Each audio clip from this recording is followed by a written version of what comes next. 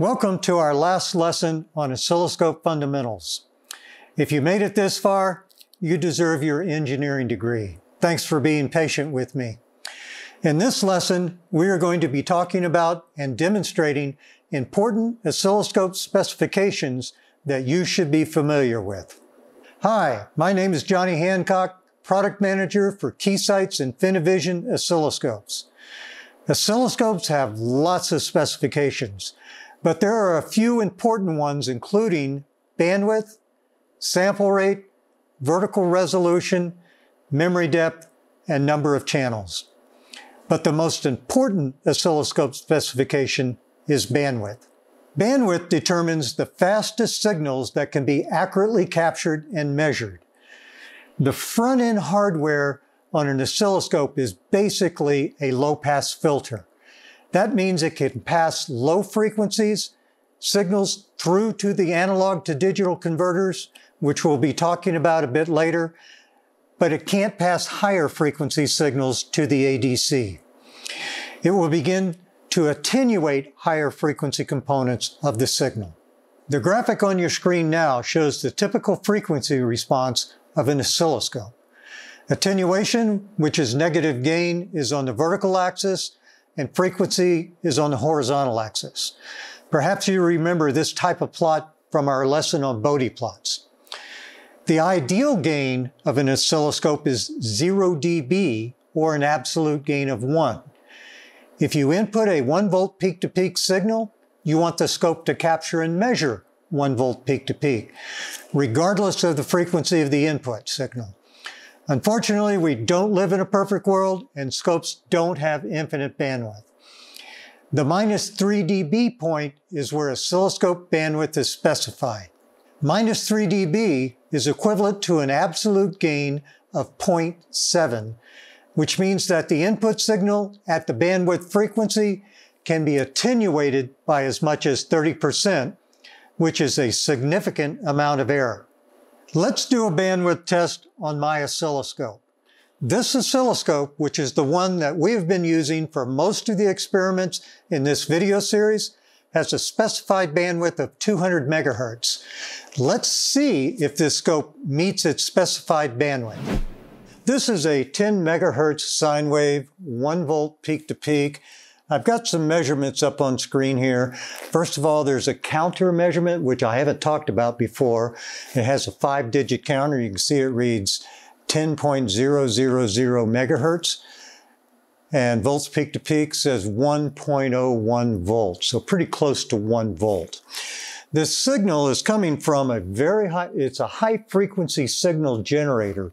It's similar to a function generator, except that it's focused on higher frequency signals and it only generates sine waves, pure, almost perfect sine waves. Uh, this goes up to four gigahertz. We won't go that high. What we're going to do is somewhat of a manual test of bandwidth I'm going to increase the frequency in increments of 10 megahertz until we see the amplitude begin to drop by approximately 3 dB, which is where the bandwidth is. That would be about a 30% drop in amplitude, which means the peak to peak voltage, when it drops to about 0.7 volts, that's the bandwidth. So let's start increasing the frequency. So there's 20 megahertz, 20 megahertz, 30, 40, 50, still measuring pretty close to one volt peak to peak.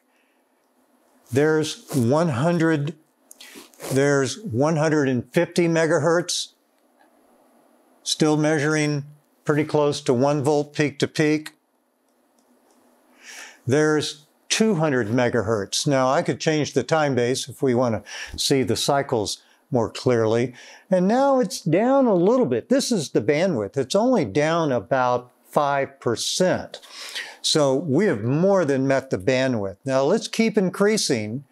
Now I can begin to see it decreasing. Now it's down about 10%. There's 220 megahertz. It's down almost 20%. 230 megahertz, a little over 20%.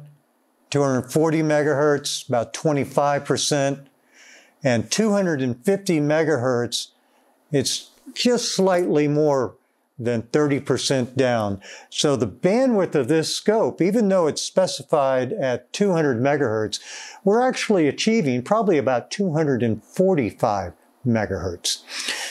What happens if we keep increasing? I'll, I'll keep going up 10 megahertz at a time. You can see it's beginning to drop like a rock. So remember the low pass filter curve, it rolls off and it drops like a rock. Now, one thing I want to make sure you're aware of the output signal, the signal coming out of this BNC is still one volts peak to peak, even though it says it's only about a quarter volt peak to peak right now. This is constant. What's happening is the analog hardware on the input of this oscilloscope can't handle the higher frequencies and it attenuates it. It can't pass them. So the test I did, just did to test the bandwidth, that's not the way we actually test bandwidth, manually creeping up and measuring it in the time domain. We actually use what's called a vec vector network analyzer that generates uh, a frequency response plot like we showed in one of the earlier lessons on Bode plots. So anyway, how much bandwidth is needed? Well, it really depends on two things. What is the maximum frequency content of your signals and how much money do you have? The higher bandwidth scope, the higher it's going to cost. 200 megahertz bandwidth is sufficient for most university teaching labs. In fact, in many uh, university labs I've been in, many of them use 50 megahertz bandwidth scopes. But once you get into industry, higher bandwidth may be required. My recommendation is I recommend that bandwidth should be five times the highest digital clock rate you intend to measure, especially for digital applications. And what this does is it allows your oscilloscope to accurately capture up to about the fifth harmonic. So remember when we talked about uh, fast Fourier transforms, how digital signals, there's a fundamental and, and odd harmonics. Up to about the fifth harmonic is very important in order to capture the true nature of a digital pulse. So, for example, let's assume, assume your highest clock rate is 100 megahertz. I would recommend a 500 megahertz scope. If your highest clock rate is a gigahertz, then you better get at least a 5 gigahertz bandwidth scope. So what other specifications are important? How about sample rate? So let's do a test and see if this oscilloscope has sufficient sample rate to capture its full bandwidth, which is 200 megahertz. So my generator is currently setting at 330 megahertz. I'm going to roll it back down to 200 megahertz. So there's a 200 megahertz sine wave. Let's do a single shot acquisition. There you can see it captured the sine wave. Now this scope samples at two gigasamples per second. That's the maximum sample rate. So you would think at two gigasamples per second, sampling a 200 megahertz sine wave, you would just see 10 points. We're seeing a lot more than 10 points here. The reason is this scope automatically runs a sine x over x reconstruction filter that creates a continuous waveform. Now, you may also be familiar with Nyquist, who says all you need for sampling is 2 over the highest frequency. But this is not a perfect world. The highest frequency is not the same as bandwidth. Now, there's a white paper I wrote, I'll reference at the end of this uh, lesson, that you can download that does a deep dive into Nyquist and why uh, it doesn't quite apply to an oscilloscope. But my recommendation is that the sample rate for lower bandwidth scopes, scopes of one gigahertz bandwidth and lower, the sample rate should be four to five times higher than the bandwidth. So we have 10 times higher. So we're above that four to five times criteria. Now, higher bandwidth scopes, multi-gigahertz scopes, they can come a little closer to the Nyquist and they can do about two and a half times the bandwidth for this sample rate. And again, that's explained in the application note. Now there's one more important specification we want to demo, and that's vertical resolution. Scopes use ADCs or analog to digital converters to convert an analog input into discrete levels. Most entry level scopes like this one have 8-bit A to D converters. And so 8 bits means 2 to the power of 8. They resolve them into 256 discrete levels over approximately 10 divisions, which is approximately the screen height here. Can you see those uh, levels? Currently, it looks like a continuous waveform. If I do a single shot acquisition, we can see things jumping. If you look real close, you can th see things jumping up and down a little bit.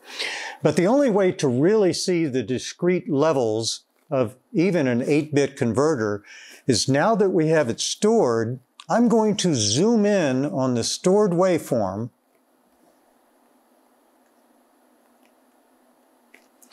And there, it looks like stair steps.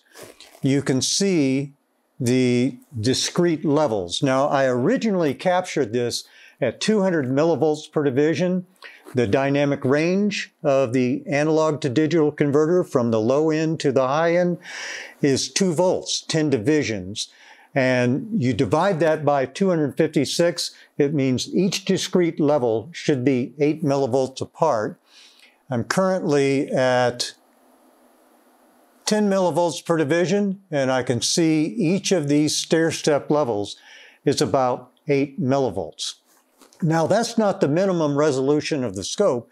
If I had started from, say, 5 millivolts per division, then I'd have a different dynamic range, in which case I'd have 200 microvolts of resolution. So, would it be much better with 8 bits or 10 bits? Not really.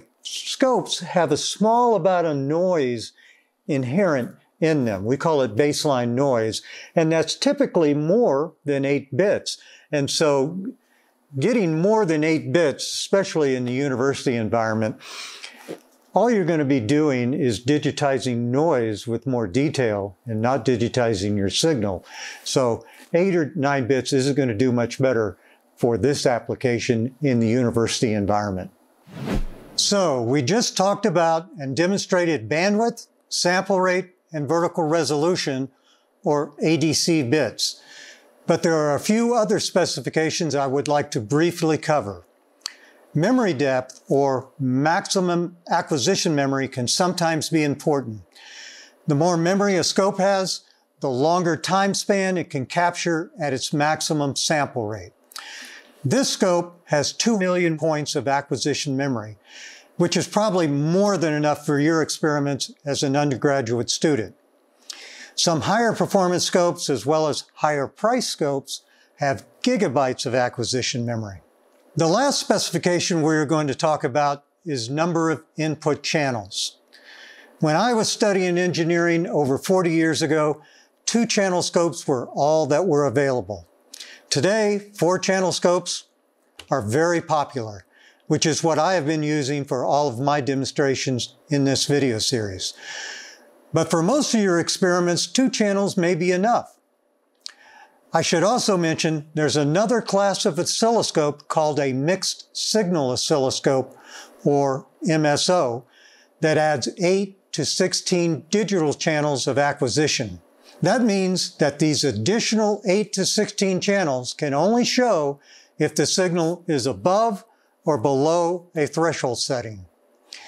This graphic on your screen now shows an oscilloscope's display with both analog channels and digital channels turned on. The waveforms at the bottom of the screen are from the digital inputs. MSOs can be very handy if four analog channels aren't enough. One more thing to mention, but it's not an oscilloscope specification. How easy is the scope to use? Is the front panel GUI intuitive? Is it responsive? Unfortunately, you can't easily rate the usability of an oscilloscope and put a number on it. But usability is very important, and every scope vendor claims that their scopes are the easiest to use. This is something that you'll have to judge for yourself. Well, that's it for this video series on the fundamentals of using oscilloscopes. it has been my pleasure to be your instructor for these lessons on oscilloscopes. I have one last piece of advice for you. Learn how to use your oscilloscope. If your oscilloscope can become second nature to you, this will allow you to focus more of your attention on learning about the electronic concepts and theory rather than spending time fumbling with the oscilloscope, which is what a lot of students end up doing. If you want to learn more about bandwidth and sample rate, which were covered at a fairly high level in this lesson, I've written papers on these topics in more detail that you can download at the URL listed on your screen. Sorry if I didn't get to your university in this video series. My manager would only approve of me purchasing a limited number of university shirts. So, go Longhorns, go Gators, go Sooners, go Dirtbags, go Aztecs, go Ducks, go Cowboys, go Rams, go Rattlers, go Crimson Tide, go Bobcats.